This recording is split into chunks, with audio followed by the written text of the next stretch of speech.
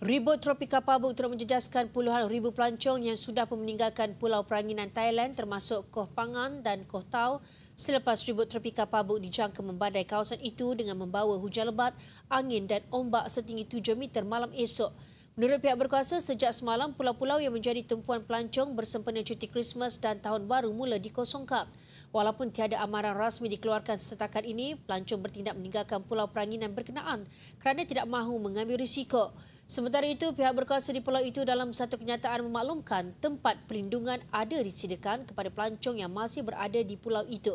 Pabuk yang bererti ikan keligergasi di Laos juga diramal membawa hujan lebat ke selatan termasuk kawasan tumpuan pelancong di Laut Andaman seperti Krabi dan wilayah yang bersempadan dengan Malaysia iaitu Patani, Naratiwat dan Yala.